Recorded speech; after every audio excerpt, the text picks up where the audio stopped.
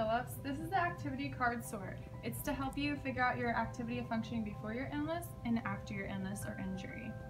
We have different categories.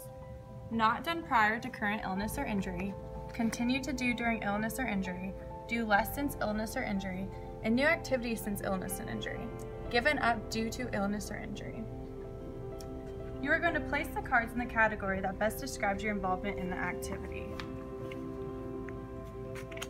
Here your cards.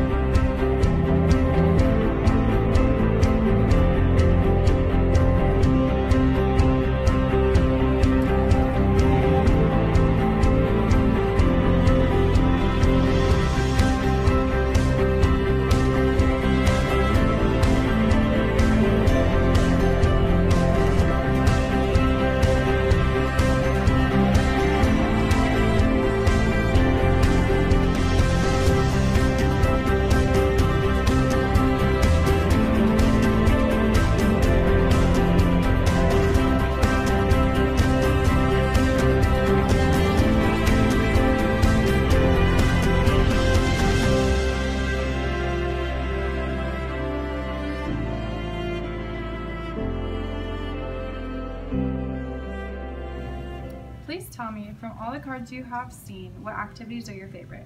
Please name five activities. These may be activities that you have given up. Five activities. Eating at a restaurant.